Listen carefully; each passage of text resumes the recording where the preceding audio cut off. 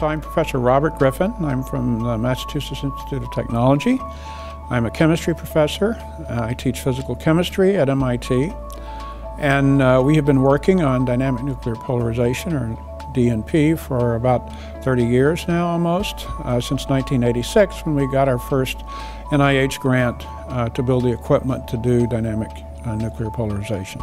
Well, what DNP will allow you to do, it won't, it won't have a direct impact on anyone's life, probably, uh, but it'll have a very, maybe a very important indirect impact. It will allow us to do problems in structural biology that would otherwise be impossible. For example, there are many debilitating diseases related to amyloid fibrils like Alzheimer's disease, type 2 diabetes, uh, Parkinson's disease, dialysis-related amyloidosis, and so forth and so on. There are about 25 total. And there's no other good way uh, to determine structures of these molecules other than magic angle spinning NMR. And what DNP will allow you to do is to do those structural determination experiments with a lot greater accuracy, precision, and at a, at a much higher rate. So we have three different spectrometers at 263 gigahertz, 395, and 527 for DNP experiments at 400, 600, and 800 megahertz uh, frequency.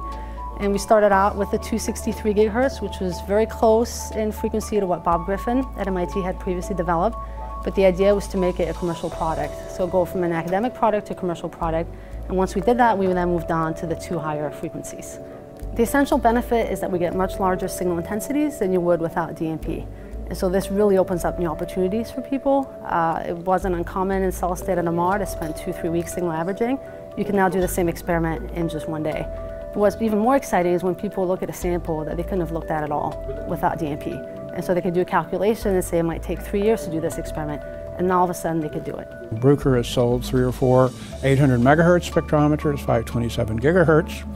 And a 1.2 gigahertz machine, 1.1, 1.2 gigahertz machine, um, they're on the drawing boards.